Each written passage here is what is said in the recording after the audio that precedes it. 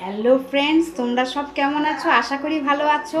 জ্যোতিকাজ blog চ্যানেলে তোমাদের সবাইকে স্বাগত জানাই। আমি জ্যোতিকা। আজকে একটু শুক্তো রান্না করছি, সেটা তোমাদের সঙ্গে শেয়ার করব বলে এলাম। আমি এরকমভাবে শুক্তোটা করি, তোমরা কে কেমনভাবে করো জানিও।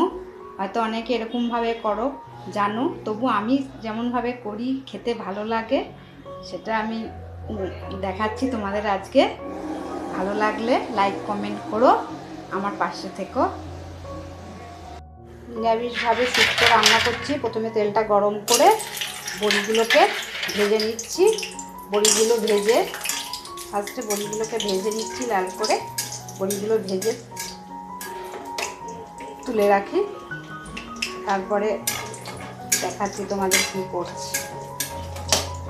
তোমরা হয়তো অনেকেই এরকমভাবে করো। কিন্তু আমি এরকমভাবে করি।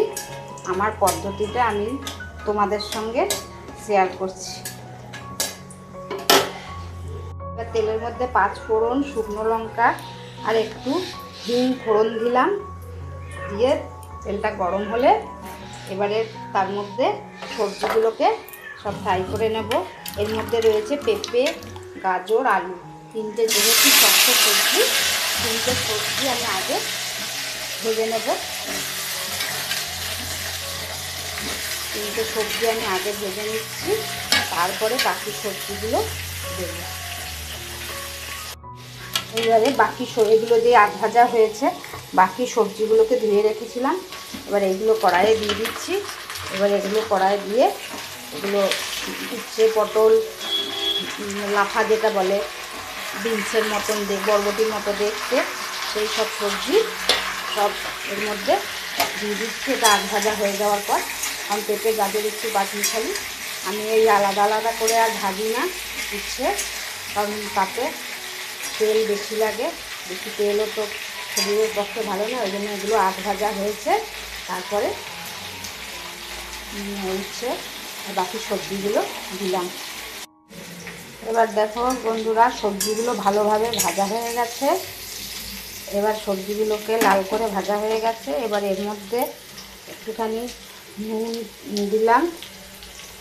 You guys পরিমাণ for মতো নুন দিলাম।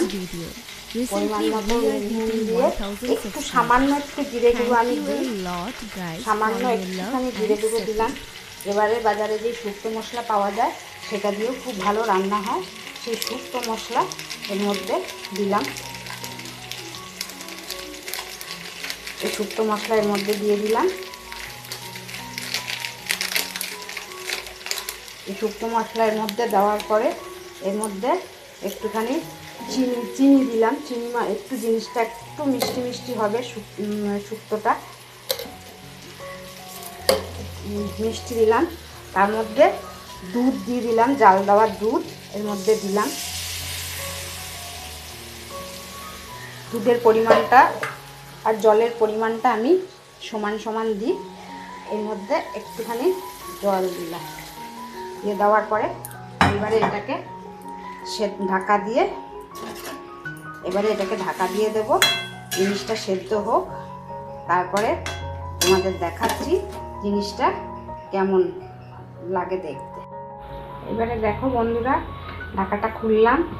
উম, শুক্তোটা সেদ্ধ হয়ে গেছে সবজিগুলো সবজিগুলো সেদ্ধ হয়ে গিয়েছে।